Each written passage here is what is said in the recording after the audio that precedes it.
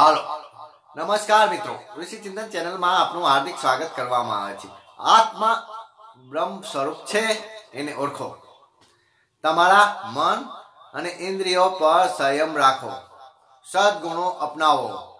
આત્માના સાચા સ્વરૂપને જાણવાનો પ્રયત્ન કરો. આત્માનું નિયમિત રૂપ ધ્યાન કરો.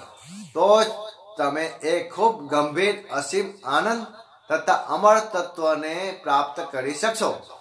તથા અમર પદ સુધી પહોંચી શકશે.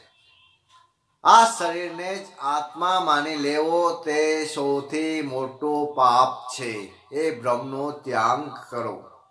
અવિદ્યા અને અજ્ઞાનના ઊંડા કુવામાંથી બહાર નીકળો અને જ્ઞાનરૂપી સૂર્યની જગમગતી જ્યોતિને અંતરમાં ધારણ કરો. આ જ્ઞાનમાં બીજાઓને પણ સાક્ષી બનાવો.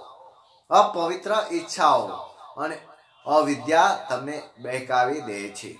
જેથી એ પણ ના ભૂલો કે માનવ જીવનનો મુખ્ય ઉદ્દેશ અને અંતિમ લક્ષ્ય આત્મ સાક્ષાત્કાર કરવો એ જ છે. ખોટા બાહ્ય આડંબરો અને માયાના મિથ્યા પ્રપંચનોમાં ના ફસાશો કલ્પનાના મિથ્યા સપનોમાંથી જાગો અને અલકા નિર્થક પ્રલોભનોની જાળમાં ફસાયા વગર નક્કર અને જીવતી જાગતી અસલિયતને પકડો. તમારા આત્માને પ્રેમ કરો, કારણ કે આત્મા જ પરમાત્મા યા બ્રહ્મ છે.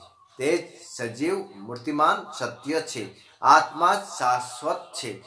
તેથી આત્મામાં સ્થિર રહો. તમે જ બ્રહ્મ છો. એને ઓળખો. આ જ વાસ્તવિક જીવન છે. અખંડ જ્યોતિ ફેબ્રુઆરી ઓગણીસો એકાવન પેજ નંબર નવ ગાયત્રી શક્તિપીઠ જેતપુર આપનું હાર્દિક સ્વાગત કરે છે. ઋષિ ચિંતન ચેનલમાં પધારવા બદલ.